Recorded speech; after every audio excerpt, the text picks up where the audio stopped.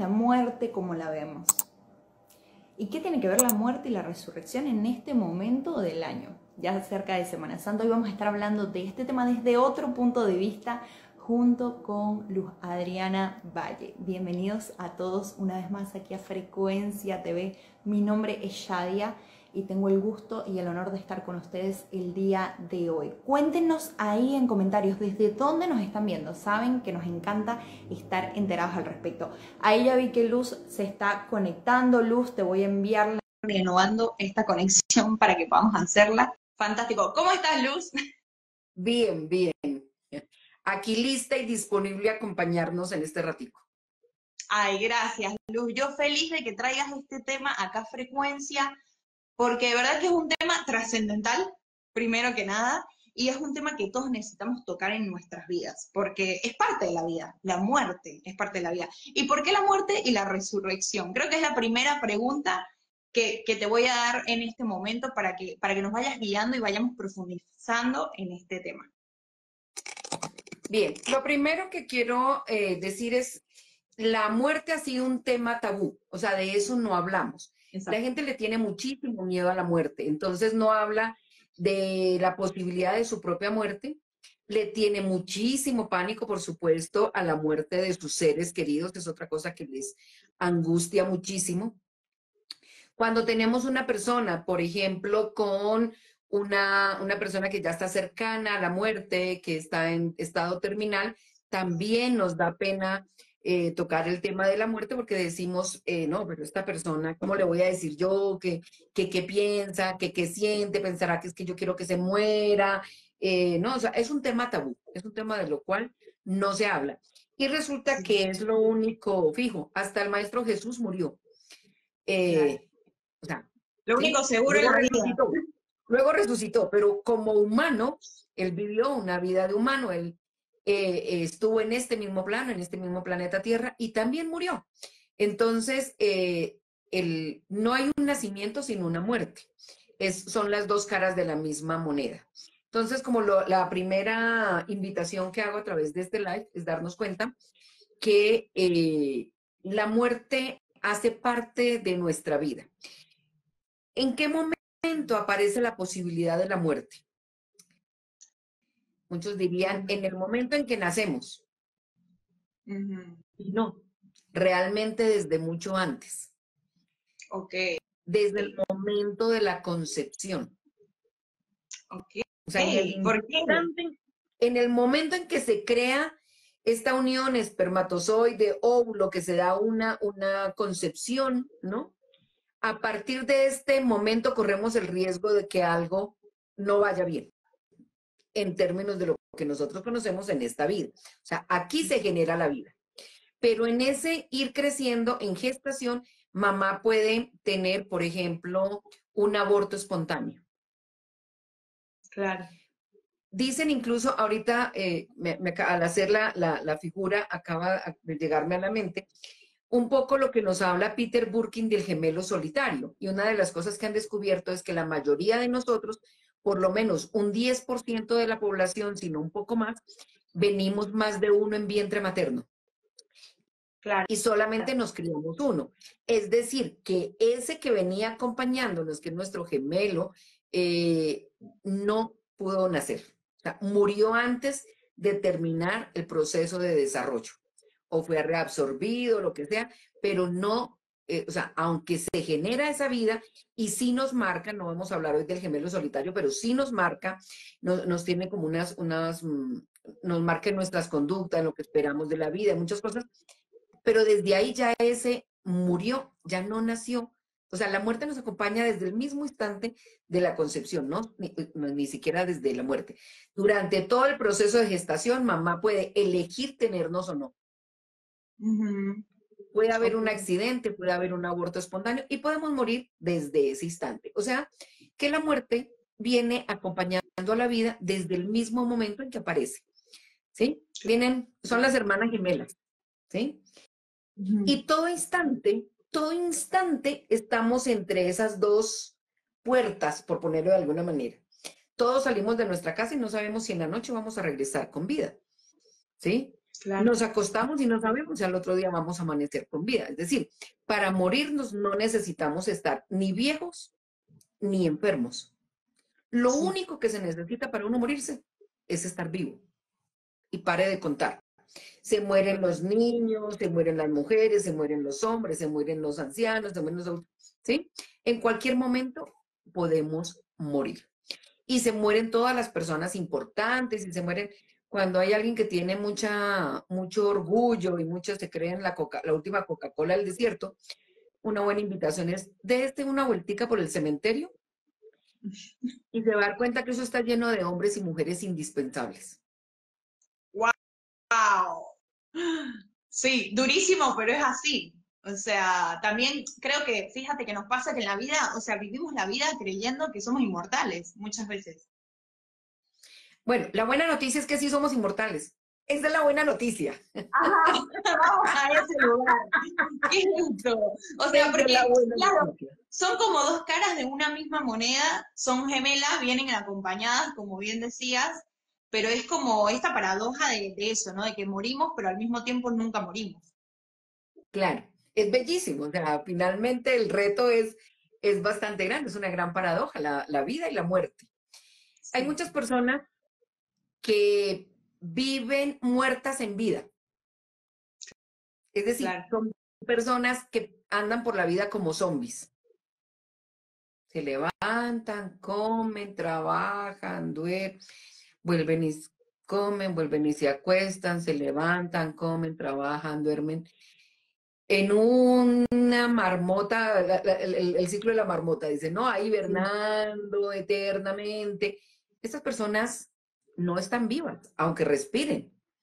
¿Sí? Es decir, son personas que no hacen conciencia de que están ocupando un lugar, de que están haciendo intercambio, las personas que aún hasta con solamente el hecho de respirar tomamos oxígeno, botamos gas carbónico, estamos en un movimiento, estamos, todo cuanto existe en este plano está vivo, incluso las cosas que son aparentemente inanimadas están hechas de partículas atómicas y subatómicas, están en constante eh, movimiento, unas de manera mucho más, o sea, esto es mucho más denso, el movimiento de sus partículas, pero cuando lo miran a través de esos grandes eh, telescopios o microscopios, más bien en este caso, eh, las partículas están en movimiento y hay distancia entre una y otra. ¿Sí? Entonces, todo está en movimiento. Entonces, lo normal de la vida es estar en movimiento. Por eso decimos que la energía no se destruye, se transforma. Entonces, cuando morimos, lo que hacemos es un proceso de transformación. Metafóricamente, lo que hacemos es cambiarnos el vestido. Aquí yo puedo hacer una mujer blanca, una mujer rolliza, una mujer no sé qué, y de pronto en otro momento puedo tener el vestido de una mujer eh, negra, delgada, pelichurca, y en la otra un vestido de un hombre pelirrojo, barbao, eh, macancán, ¿me entiendes? Es decir, la vida, al igual que no necesitamos morirnos para darnos cuenta de esto. Como es arriba, es abajo, como es adentro, es afuera. Es decir, tenemos que encontrar las metáforas de que la vida continúa en este mismo plano, porque es lo que nos asegura de alguna manera qué es lo que ocurre eh, por fuera. ¿sí? Es ley de correspondencia, como es arriba, es abajo, como es adentro, es afuera. Entonces, uno aquí, el primer acto de, esta vida y muerte es la, la respiración. Inhalamos, es la vida, pero no podemos quedar ahí eternamente. Exhalamos y en el exhalar es dejarnos ir y es morir. ¿Para qué? Para volver otra vez a inhalar y tomar la vida. Luego soltamos lo que no, no nos sirve, lo que ya, ¿sí? Nuestro cuerpo las toxinas las elimina a través, a través de, de esa respiración y volvemos otra vez. A, entonces, la respiración es el primer acto de vida-muerte. El día y la noche es otra metáfora, ¿no? Entonces, y aquí está la infancia, ¿sí? Esta mañana luego la mitad de la vida, que es este eh, mediodía, digamos, y luego viene el, envejecer también con este atardecer, el otoño de nuestra vida, decimos, ¿sí? Y, y, y viene así. Y al otro día, entonces viene la noche, ¿sí? También con su, con su atardecer, con la parte más oscura de la noche, empieza luego nuevamente un nuevo amanecer y un nuevo ciclo.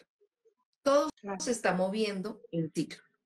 lo tenemos también dividido en años, en meses, pero son ciclos de inicio. Está eh, la primavera que abre, ¿cierto? Que, que, florece, que da sus frutos, está todo el cenit, que es la, el, el, verano, ¿sí?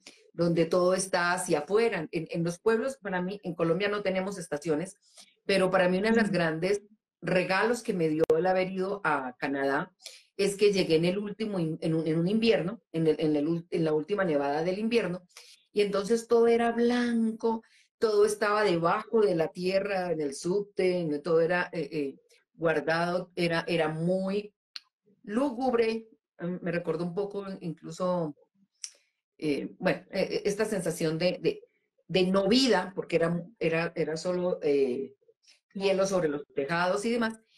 Y después empezar a ver cómo en la primavera, un sitio donde yo, ah, donde lo veía por la ventana cotidianamente, tenía que caminar, empezaban a salir unos girasoles, unos tulipanes, y, aparecía una vida nueva allí, ¿sí? Eh, la ciudad que había estado guardada también salió en el verano, eh, eh, ponían las mesas afuera, las, estas grandes carpas, la música, la gente en colores vivos, ¿sí? Todo el proceso, para luego viene, venir el otoño y estos colores rojos, ¿no? Donde se caen las hojas de los árboles, donde y viene nuevamente el invierno y nuevamente aparece una primavera. Entonces, todo en el universo, absolutamente todo nos habla de este ciclo de vida, muerte, vida, muerte. Se suceden una a otra. Entonces, la, la mala noticia es que todos nos vamos a morir. La buena noticia es que nadie se muere. En ¿Por qué? Porque lo que hacemos es cambiar de vestido. La metáfora que yo siempre utilizo para poderlo comprender es, les digo, ¿ustedes se acuerdan cuando eran renacuajos? No, doctora. Que usted estaba en un medio acuático, que se alimentaba por un tubo. Me refiero a vientre materno. ¿Usted se acuerda de eso? No, doctora. ¿Eso quiere decir que entonces no vivió en, vientre materno? Sí, sí, claro, sí. El que no nos acordemos no quiere decir que no lo hayamos vivido. ¿Te pudiste, ¿Te pudiste quedar a vivir eternamente con lo bien que estabas ahí en la panza de tu mamá? ¿Te pudiste quedar a vivir ahí? No. No. Tuviste que morir a esa vida acuática de renacuajo. ¿Sí? Claro. Tuviste que pasar por el canal vaginal o te sacaron a las malas con forces, lo que fuera, pero tuviste que morir a esa vida para venir a esta. Entonces, el túnel que las personas ven cuando pasan al otro lado es lo mismo que el túnel vaginal, para ver la luz del otro lado. Las mujeres damos a luz, ¿no? Entonces, ahí empezamos una nueva vida, que es esta que conocemos. Pero aquí tampoco nos podemos quedar. Entonces, también va a ocurrir un momento en que vamos a morir a esta para nacer a otra. O sea, cada muerte es un parto simultáneamente. No, y, la muerte, luz, o sea, hay, hay, muchas cosas en la vida que, que simbólicamente son una muerte, ¿sabes? O sea, cuando uno este, va creciendo y va superando ciertas etapas de la vida, tal vez una ruptura, un cambio de trabajo, son como pequeñas muertes o pequeños, sí, o sea, pequeñas despedidas también, pero eso trae consigo un duelo también siempre. Rupturas de parejas, rupturas de amistades, cuando te vas del nido de los padres, o sea, son como pequeñas muertes que forman parte de todo ese ciclo y ese proceso de evolución de la vida. Mira, acá Mecha tiene una pregunta que me encantó y dice, ¿por qué no recordamos? Porque hemos hecho también muchas barbaridades en otras existencias. Y yo no me quiero, yo no quiero estar recordando si yo he hecho daño, si yo le he hecho brujería a alguien y le hice daño, si yo abusé de mi poder, si yo maté a alguien, si yo, o sea, eso no nos ayudaría a nada. Entonces lo que ocurre es que nosotros venimos nuevamente a aprender a sanar o a compensar, nos lo dice Robert Schwartz, el autor del plan de tu alma y el don de tu alma, él nos dice el sentido de reencarnar, el sentido de volver es o aprender, o sanar, o compensar. ¿Sí? Y venimos a hacerlo desde ahí. Cuando la gente habla de karma, habla muchas veces como castigo divino, como castigo de mi Dios. Yo no creo en un Dios castigador. Para mí un Dios castigador no sería un Dios, o sea, para mí Dios es una frecuencia de amor. Ni siquiera es un viejito barbado allá en el cielo mirando a ver qué, ¿qué hacemos mal para castigarnos? Sería un oficio bastante maluco. ¿sí? Entonces es una frecuencia totalizadora, es la fuente, ¿sí? es una frecuencia de amor y nos da todas las posibilidades de equivocarnos. Entonces yo les digo a, a las personas, no se preocupen, que si no aprende con esta, la vida es tan generosa, tan generosa, tan generosa, que si no le alcanza esta vida, le da otra. Siempre tenemos la posibilidad de aprender. Entonces, eh, necesitamos tener esos topes para mantener una cordura de alguna manera y a medida que vamos subiendo nuestro nivel de conciencia, podríamos ampliar un poco más esa ventana sin hacer juicio, sin darnos palo, sin vengarnos, sino hacerlo de otra manera. Pero necesitamos precisamente ese, ese nivel de conciencia. Hay personas que nacen y recuerdan haber vivido otras existencias, niños que dicen, en otra vida yo me llamaba tal, y van y hacen las investigaciones. Estaba viendo que dio un programa donde hay investigación, hay universidades serias que han hecho investigaciones sobre estos relatos de estos chicos y van y miran y los lugares existen, las personas que ellos dicen que fueron existieron, eh, se reencuentran con los familiares, o sea, hay mucha investigación al respecto. Eh, las mismas personas que tienen experiencias cercanas a la muerte, ¿sí? A mí me, me gustó mucho el libro y para quienes quieran ahondar en eso, el libro de Muero por ser yo, de Anita Murjani, que es una mujer que le da un cáncer linfático, eh, entra en estado de muerte, empieza a tener, eh, a ver lo que, a, escuchar lo que hablan los médicos, a su hermano viviendo en otro país, cómo está corriendo como loco buscándose un vuelo para venir a alcanzar a despedirse de ella, cómo va entrando en esto y dice, hay una parte que, una imagen que me encanta que ella dice, que cuando ella pasa como este umbral, empieza a darse cuenta que todos nosotros somos como hilos de colores y en nuestras interacciones nosotros vamos tejiendo un gran tapiz, ¿no? En, en, este tapiz de, de la vida. Se, se, encuentra con su padre, habla con él, bueno, y de alguna manera ella se regresa y cuando regresa o la regresa, ella ha sanado un cáncer que era terminal. Entonces, el libro se llama eh, Muero por ser yo de Anita Murjani. Ella dicta actualmente conferencias al respecto y nos muestra un poco, o sea, sí es cierto porque hay un dicho que ay, pero nadie ha ido a la muerte y nos ha venido a contar qué ocurre allá. No, sí, sí, resulta que sí hay gente que no lo ha venido a contar, ¿sí? Ha ido y ha vuelto a contar. Entonces, eh, cuando uno empieza a comprender este tipo de cosas, deja de tenerle miedo a la vida y también a la muerte. ¿Por qué? Porque hay muchas personas que teniéndole miedo a la muerte, realmente no se permiten vivir por estar pendiente del miedo a morir, ¿sí? Entonces, y hay ocasiones en las que tenemos más miedo a vivir. Vivir implica asumir riesgos, vivir implica eh, permitirme abrirme al mundo, eh, asombrarme, ¿no? Pero hay veces que estoy en este temor que lo que hace es que me retraiga, que no viva, ¿sí? Por temor a equivocarme, por temor a, al que dirán, por temor a perder lo que tengo. Por Entonces, cuando tú sabes que somos inmortales, quizás eso nos pueda servir para darnos valor a enfrentar cosas, a asumir, a experimentar, ¿sí? A equivocarnos, a eso venimos, a este, a, este plano también, ¿no? A experimentarnos y podemos experimentar cosas buenas y cosas no tan buenas, ¿sí? Eh, el ideal sería que lo pudiéramos hacer con con, nivel, con un nivel de conciencia alto. ¿sí? Claro. claro. Eso, sería como, como esa invitación. ¿Cómo sería experimentar todo esto desde un nivel de conciencia alto? Porque viste que, claro, pasa esto, tenemos miedo, yo creo que el miedo más grande que tenemos es a vulnerabilizarnos. Vivimos protegiéndonos, ¿no? Poniéndonos barreras con nuestro ego, eh, protegiéndonos de que el otro no me haga, no me diga, no me cuando somos uno y venimos también de esa unidad y venimos todos como del mismo lugar, de esta energía que decías tú, venimos todos de este mismo espacio, ¿cómo elevar nuestra conciencia para empezar a vivir desde ese lugar donde no tenemos ni miedo a la vida ni a la muerte, donde podemos estar abiertos realmente a las experiencias? ¿Qué nos dirías, Luz? Uno de los mayores miedos en general del ser humano es la muerte. ¿sí? Eh, la muerte en cualquiera de sus expresiones, la muerte en que me eche de la relación, como tú misma lo hablabas, a que se acabe el trabajo, a que se me acabe el dinero, es decir, a que algo se acabe o algo se finalice. ¿sí? O sea, eh, y, y, ahí está también el que no me quieran, ¿no? Entonces, ¿qué hago yo y renuncio y demás para poder estar allí?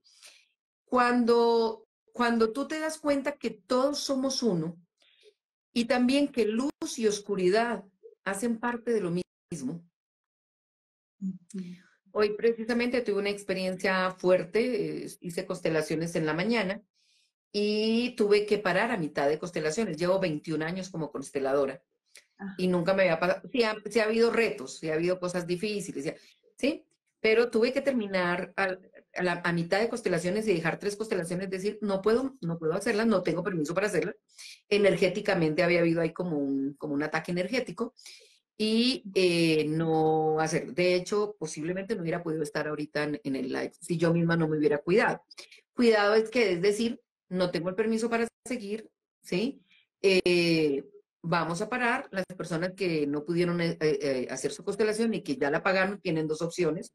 Reprogramamos o les devuelvo el dinero, yo no tengo ningún problema, pero no voy a poner en riesgo ni mi salud ni la del grupo al que está, ¿cierto? Entonces, y esto lo digo porque hay ocasiones en las que las personas creen que, que, que las personas que estamos del otro lado de la cámara somos infalibles. ¿No? Y muchas, hablábamos también esta mañana con alguien que decía cómo alguien que era una influencer, eh, que era vegetariana, después eh, su cuerpo se enferma, necesita comer carne, pero sigue vendiendo la imagen del vegetarianismo y, eh, y se le viene mucha gente que descubre que sí está comiendo pescado, lo que fuera, o pollo, lo que fuera, y todo eso, ¿no? Entonces, esta imagen que tenemos de que si yo estoy frente a la cámara, todo es perfecto, todo está bien, entonces, y no, o sea, eh, la, el, el, ser humano es muy vulnerable también, ¿no? En esa, en esa medida. Pero en esa vulnerabilidad también hay fortaleza, ¿sí? Entonces, el, el vivir en el nivel de conciencia es darme cuenta de algo está pasando, algo no está bien, para no pongas en riesgo tu vida, no pongas tu salud mental, emocional, física, eh, y también cuida al grupo y también toma una decisión. Entonces, es exactamente igual. ¿Cómo vivimos teniendo un mayor nivel de conciencia? Y desde ahí podemos tomar decisiones eh, más asertivas, ¿no? Para uno y para el otro. ¿sí? Entonces, el miedo también ayuda, eh, aunque, aunque no, no fue la, la sensación en este caso de, de miedo, sí fue de, de estar alerta y de atenta. Pero muchas veces también aquí me parece que es importante darle cabida al miedo, porque el miedo también nos permite la protección. Es decir, si yo voy por una calle oscura, está muy solo, yo veo gente sospechosa, pues está bien sentir ese miedo que me permite mirar opciones. Bueno, puedo cambiar de acera, hay alguna salida, hay alguna, o sea, ¿sí? ¿Por qué? Porque la forma de preservar, eh, como tal, en este caso, la existencia, ¿sí? Finalmente sí creo que nadie se muere la víspera, o sea, el día que a uno le toca, todo se cuadra para va a llegar a tiempo, como eh, lo, he contado en algún, en algún live de, de una de esas historias que, que, te cuentan de del hombre que está en el pueblo, eh, va al pueblo, eh, ve a la muerte, se asusta, va donde el cura y le dice, présteme un caballo, lo necesito urgente, mañana se lo devuelvo, galopa toda la noche para devolverse a su finca, a su terreno, y se acuesta y cuando está en la cama como que ya descansando, se le aparece la muerte a sus pies y le dice, cabalgaste toda la noche, para llegar a tiempo a nuestra cita. Wow, sí, total. El día que nos toca, nos toca. Sí. Claro. Eh, pero, y lo mismo, lo mismo pasa, Luz, con nuestros procesos de evolución. Es como que, aunque queramos, ya en un poco las relaciones, vamos a la relación de pareja, ¿sabes? Sostener un vínculo que no queremos sostener, de repente si toca, toca. O sea, que eso se transforme en algo más, que eso muera o que eso se caiga, es como que toca, es parte de la evolución, es parte del proceso. Sí, sí, sí. Y, pues, y, nos enseñaron que la muerte es dolorosa y lo hemos aprendido, ¿sí? O sea, ya asumimos que es lo natural. Ahora, para, algunas, para algunas culturas donde esto no, la gente hace fiesta cuando alguien muere, ¿sí? ¿sí? Y celebran y cantan. Y para nosotros que estamos acostumbrados a, a la muerte como dolor, como llanto, como tristeza, pues eso nos parece un poco aberrante, ¿sí? Eh, yo me acuerdo una vez que, que murió una compañera mía que era del Pacífico y cuando llegamos en la familia le estaban cantando música de Leonardo Fabio, que además a mí me encanta, y le estaban tomando fotos y entonces que quienes querían venirse a tomar fotos con el cajón, ¿sí? Y todo, y, para mí eso era, era simplemente en mi cabeza, no me cabía, ¿sí? Claro. Pero para otra cultura eso es lo normal y es celebrar la vida de la persona que les acompañó y, darle gusto en las cosas que le gustaba. Si le gustaba la música de Leonardo Fabio, pues eso es lo que le ponemos, o le cantamos, o le tocamos, o le, ¿sí? Y celebramos la vida de esa persona, el que nos haya acompañado, el que nos haya compartido. Ojalá pudiéramos hacer lo mismo con las relaciones de pareja. Decir, celebro tu presencia en mi vida. Gracias, gracias por todo lo que aprendí contigo, porque aprendí a hacer el amor, porque aprendí a besar, porque aprendí a acariciar, pero también aprendí a que yo me valoro, a que yo pongo límites, a que no me voy a dejar maltratar. Aprendí, eh, gracias por esos hijos que me diste, ¿sí? Ya como pareja no va más, pero te suelto con amor y te deseo todo lo mejor. Ojalá nos pudiéramos eh, separar de esa manera. Lo mismo de los trabajos, en gratitud gratitud porque yo en ese trabajo aprendí, porque me, me dio el sustento, porque me pude relacionar con personas.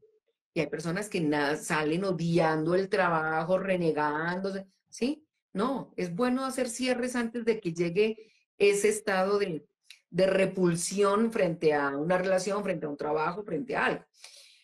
Y, y, ya, yéndonos a esta otra vuelta que, que, tú me preguntabas de la resurrección, que no la, que no la he tocado directamente, es eso. ¿no?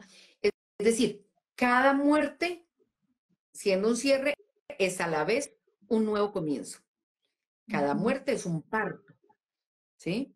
Y así como el Maestro Jesús nos lo mostró eh, eh, eh, y, lo quisimos traer también para esta fecha que es de Semana Santa, donde se conmemora la muerte y la resurrección del Maestro Jesús, vemos cómo Él muere como ser humano en esta dimensión pero que inmediatamente también resucita, se eleva, va a la diestra de Dios Padre, ¿no? Es un poco la, metáfora. O sea, nuevamente resurge a la vida.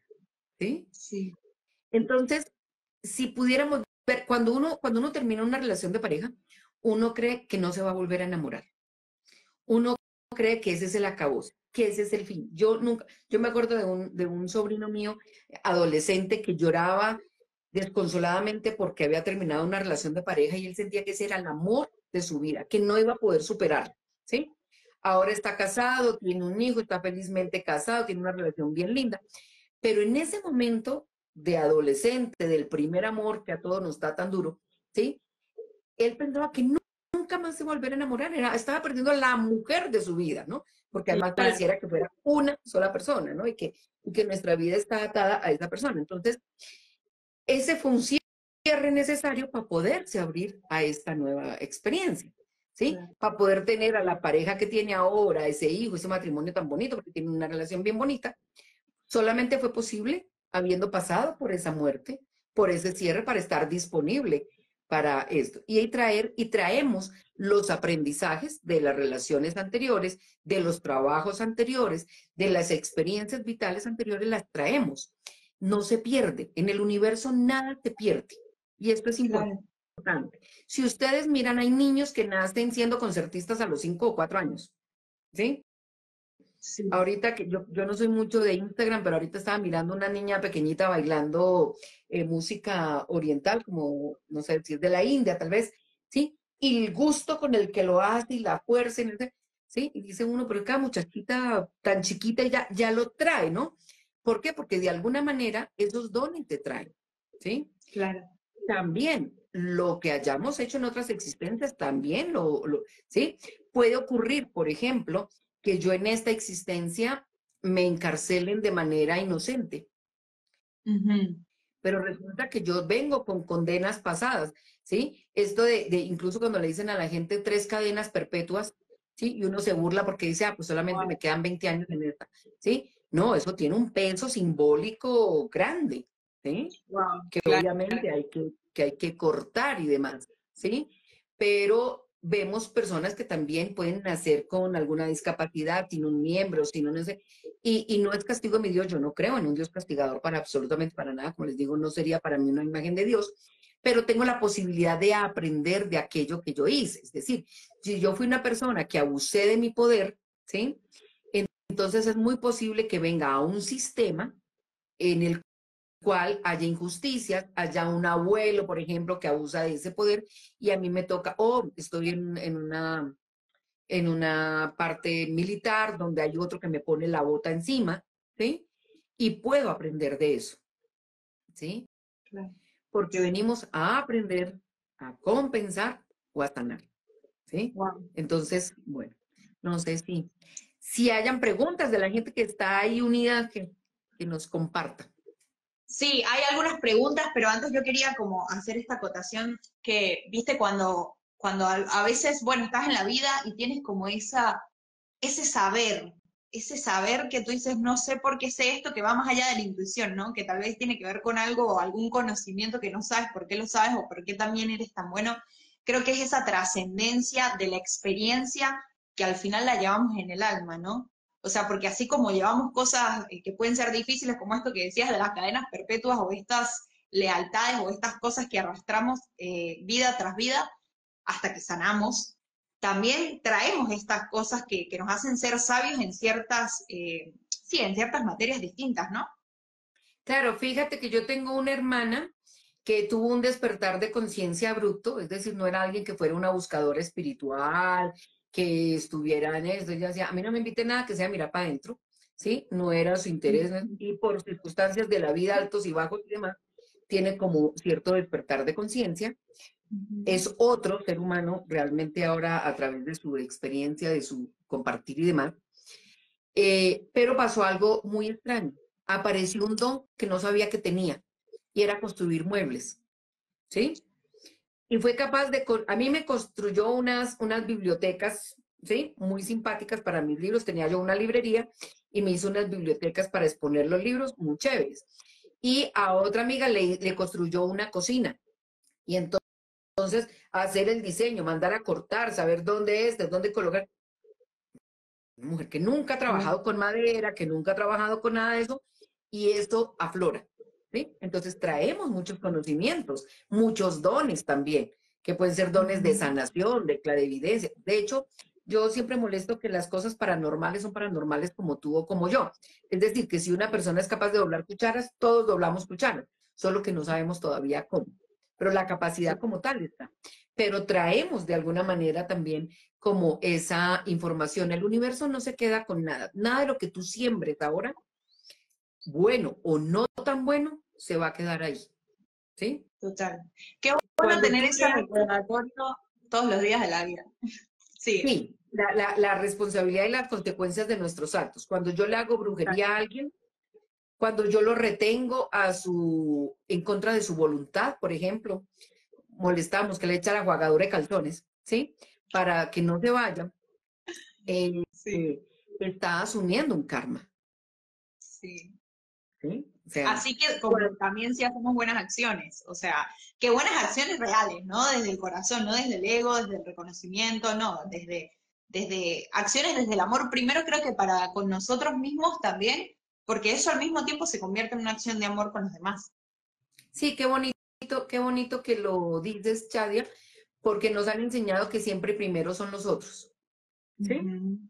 Como que dalo todo a los demás. No, date primero a ti. Si tú estás lleno, tienes capacidad para dar. ¿Sí? Si tú eres un ser carente y aparte de ser carente, das lo poco que tienes, siempre vas a estarle reclamando a la vida y a los otros desde, un lugar de víctima, de pobrecito, de pobrecita, de que no te dan, de que no te ven, de que no. Entonces, llénate tú primero, ¿sí? Como, como, como cuando vamos en el avión y nos dicen que caso de despresurización bajarán las máscaras y que primero te pongas la tuya antes de ayudar a un menor o a otra persona. En la vida es exactamente igual. ¿sí? Porque a veces nos metemos a, a, salvar a otro en el río cuando yo no sé nadar. Entonces, importante ponernos a nosotros y no sentir que con eso estamos siendo egoístas o estamos siendo malos o estamos siendo porque nos lo han enseñado, ¿no? eh, que no está bien que te ocupes primero de ti, sino que siempre tiene que ser por el otro. Entonces, una invitación también a ese, esa parte del, del amor propio y del autocuidado. Y que ese, como decía, cuando uno se cuida a uno mismo, es muy loco cuando realmente lo empiezas a practicar y a llevar a la acción. Te das cuenta que eso termina teniendo una, una repercusión positiva en la vida del otro. Permite que el otro se enfrente a lo que se tiene que enfrentar y empezar a ocupar su lugar, que es también un tema que se habla tanto en las constelaciones, ¿no? Mira, acá Mecha nos pregunta. Sí, dime, dime. No, no, que en esto de la repercusión, que es como cuando tú echas la, la piedrita al lago y esto empieza a generar una onda expansiva. Todas nuestras acciones tienen esa onda expansiva, en lo bueno y en lo no tan bueno. Bueno, Mecha nos pregunta, ¿el momento de trascender tiene fecha y hora? ¿Qué crees tú? Yo creo que sí, yo creo que sí, pero que también es negociable. A ver. Yo creo, estoy convencida en el libre albedrío. ¿Sí? El libre albedrío es decir que eh, si hacemos acuerdos con nuestros guías sobre si voy a ser mujer, sobre si voy a ser hombre, si voy a nacer en, en, este país o en el otro. Estábamos haciendo un chiste conmigo, que también siento que es una persona con bastante conciencia. Eh, molestábamos con relación a todas las críticas que hay con nuestro presidente, ¿no? Entonces, él decía que se pone a ver las noticias sobre el presidente y se amarga la vida y empieza eso, y después, y después dice, y después me acuerdo que yo elegí nacer en Colombia y se me pasa, ¿no? Entonces, entonces en eso de, de, de esto que elegimos. Entonces, nosotros también elegiríamos así como elegimos a nuestros padres, y estoy trabajando mucho ahorita desde constelaciones, este salirnos del lugar de la víctima y aceptar que, que hemos hecho acuerdos de almas, eh, está este momento de la muerte. Pero en determinada circunstancia, como ese fue un acuerdo que yo hice, es un acuerdo que yo puedo reevaluar. Para eso se requiere un nivel de, conciencia alto y un propósito mayor. No, no, es desde el miedo, yo no me quiero morir, por favor, deme tres días más, deme, deme tres años. No es desde el miedo, ¿sí? Desde ahí no funciona, ¿sí? Pero desde un nivel de conciencia y un propósito más alto, estoy convencida de que, de que si tiene e, e, esa, ese nivel de conciencia y ese propósito, se podría negociar. ¿sí? La pregunta es, ¿para qué queremos vivir eternamente acá? Claro. Y mucha gente también dice, yo quiero que esta sea mi última vida en la tierra, yo no quiero volver por aquí. Y me preguntan a mí y yo les digo, si hay alguna tarea que quieran mandarme a hacer que me parezca chévere, yo soy de la que voy a decir, listo, yo voy. O sea, así me le punto, me le mido. ¿Sí? ¿Por qué? Porque será una vida con propósito. O sea, yo pienso que esta vida también, este planeta es bien bonito. ¿Sí? Claro, venir. Yo tuve un intento de suicidio a los 17 años. Después comprendí a medida que vas sanando y que vas creciendo, de que las tareas que tú tienes que hacer o las haces o las haces porque es como cuando pierdes el año. ¿Qué tiene que hacer? Repetir. Y si perdió la materia por segunda vez, tercereas en la universidad. Y si no, te quedas un buen tiempo sin poder volver a ingresar a la universidad, ¿sí? O tienes que cambiar de... Pero, ah, pero no te dejan avanzar, ¿sí? Entonces ahí fue cuando yo dije, pues si me toca hacer la tarea, mejor la hago de una vez. ¿Para qué voy a ir y volver otra vez? Entonces, eh, estoy tratando de hacer mis tareas, ¿sí? Eh, las que me correspondan, pero en términos generales creo que, que esta vida es una existencia bonita, que ahora desde el, desde el proceso de conciencia que tengo, es, es, una vida bonita. Que claro que debe haber una cosa mucho más chévere en otras dimensiones, seguramente que sí. Claro, pero definitivamente si estamos en estos cuerpos humanos también creo que es un gran beneficio, ¿no? Eh, a veces nos cuesta y luchamos mucho, luchamos mucho. Creo que con, lo que más luchamos es con nuestra humanidad, con esta cosa de, de, la muerte, de trascender, de vencernos, me, de cierta manera. O sea, me, hiciste acordar de la, de, la oración esta en esta humanidad agobiada y doliente. No, no sé cuál es, no sé cuál es. Pero, pero, pero es eso, yo, y fíjate, te lo digo también de manera personal, gracias por compartir cosas tan personales hoy, porque, porque está bueno tener ese acercamiento también a, todo lo humano que tenemos detrás, tanto tú como yo que estamos acá en vivo con las personas, que no hay que negar esa humanidad y que más bien si venimos a vivir estos cuerpos y si venimos a vivir en estas mentes también, es por algo, por ese propósito que también Mecha y nos pregunta, ¿todos tenemos un propósito? Yo creo que sí, ¿tú qué piensas? Yo creo que hay muchos propósitos aparte en la vida. Yo creo que sí, yo creo que sí, pero no todos tenemos que inventar la penicilina. Claro. Es decir, que no necesariamente ese propósito es un propósito grande, yo que vine a salvar la humanidad. No, a veces es enfrentar mis propios demonios, mi ira, por ejemplo. Sí. ¿Sí? O la, la impaciencia. A veces puede ser algo muy simple como es. Quizás sea aprender a tomar decisiones. En algún momento pude haber estado atascada en una cosa que no tomaba decisiones y ese no tomar decisiones en otra existencia me pudo llevar a una cosa dolorosa, fatal o demás. Y en esta vengo a tomar decisiones. Por decir algo. O sea, me refiero a que ese propósito no es el grande. Ahora, ese propósito puede ir variando a través de la vida, porque a medida que vamos creciendo en nuestro nivel de conciencia, pues las tareas son las mismas. Yo molesto mucho con que eh, tanto que luchamos para aprendernos las tablas de multiplicar y tan pronto no las aprendemos nos dejan sacar la calculadora. Y así es la vida, ¿sí? Entonces, en algún momento algo que para mí fue muy difícil, muy doloroso o difícil como aprenderme las tablas de multiplicar, una vez que lo aprendo, ya la vida no me pasa esa, esa, esa, esa, esa lección, ya está saldada, ya está pasada, ¿sí? Me puedo sacar calculadora, paso a otro nivel, a otros retos, ¿sí? Entonces, eso con relación. Y, la, y les voy a complicar un poco más la existencia. a ver. Existimos en muchas dimensiones simultáneamente. Las otras vidas también están sucediendo en este mismo instante, porque se dice que fuera de este plano 3D el tiempo no existe. Entonces, una metáfora. Si aquí hay un reloj, visualicen que aquí al lado mío hay un reloj. Aquí estarían las 12. Aquí estarían las 3, las 6, las 9, las 12. Si yo estoy aquí frente a este reloj, frente a este, son las 12.